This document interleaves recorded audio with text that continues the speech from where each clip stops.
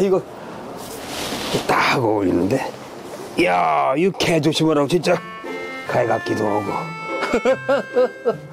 아, 옛날 토단집 같기도 하고. 아주 정스럽네. 음, 아, 냄새. 이게 무슨 냄새냐? 손님 끄는 냄새인데 아주 막. 아이고. 어, 구수한,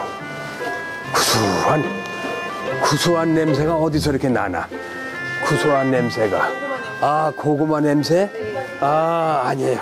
아이고, 반갑습니다. 여기 그냥 무렴무렴 무렴무렴 찾아왔어요, 무렴무렴. 요 앞에 개, 강아지가 쪼그려 앉아 개, 개 때문에 깜짝 놀라가서 개 조심이라 해가지고 내가 도망갈 뻔했네.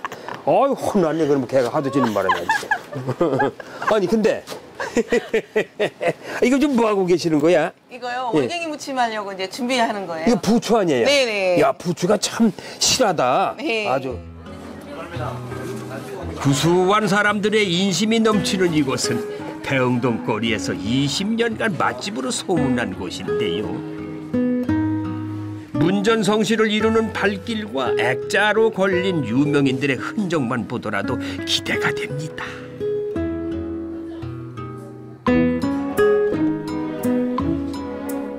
이게 이름이 두부 두부찌개. 두부두루치기예요.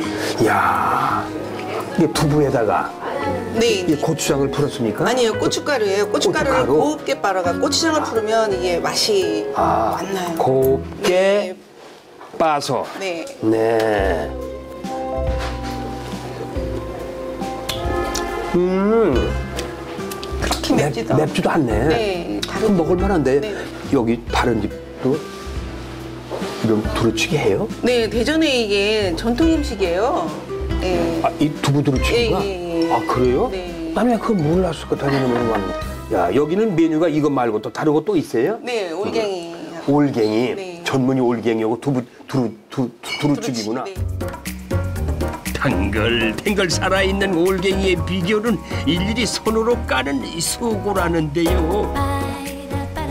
국내산만이 가능하다고 합니다. 이 올갱이로 끓여낸 국은 말로는 설명이 안 되고요. 직접 맛을 봐야 한다는데 이 속풀이와 해독에 그만이라네요. 야, 이것도 제격이다. 응?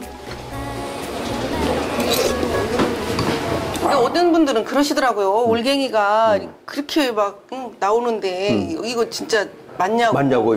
국내산 음. 맞냐고. 진짜 자연산이냐? 네네네. 그래서 저희들은 직접 까고 있거든요. 예. 그래서 그렇게 말씀하시는 분들은 손님 바꿔달라고 그래요. 바꿔. 통통한 올갱이와 실한 부추를 듬뿍 넣고 노릇노릇 구워낸 올갱이 전은 냄새부터가 벌써 아유 확 다르네요. 전도 원하시는 분 많이 있겠는데? 네, 많이 드세요. 어.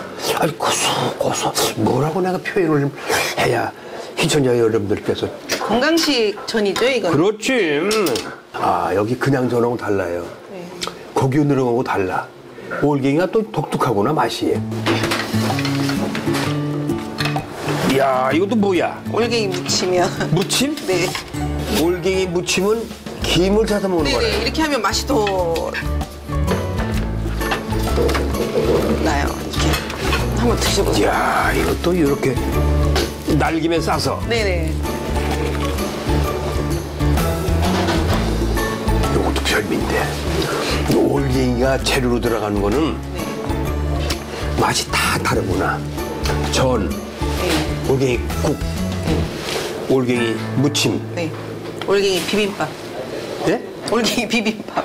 아, 여기다 비- 밥만 올려놓으면 비빔밥이 되겠지. 네네네. 어, 그렇죠. 네네. 음식 보니까 네. 외할머니 댁에 온 것 같아. 외, 외할머니. 하고 그러잖아요. 네. 어? 그 엄마가 만들어주는 또 엄마보다는 하- 애할머니가 만들어주는 음식 무슨 네. 맛있어 정스럽고 그 애, 애가 집 때 가면은 꼭 무슨 반찬을 또 손주들 왔다고 애 손주들 왔다고 맛있게 만들어 주시잖아요. 예, 예. 음. 사랑이 담긴 밥 한 그릇에 든든해지고 정성 가득한 반찬 하나에 용기를 얻어 세상 살아갈 힘을 얻는 밥상. 할머니와 어머니의 마음을 만나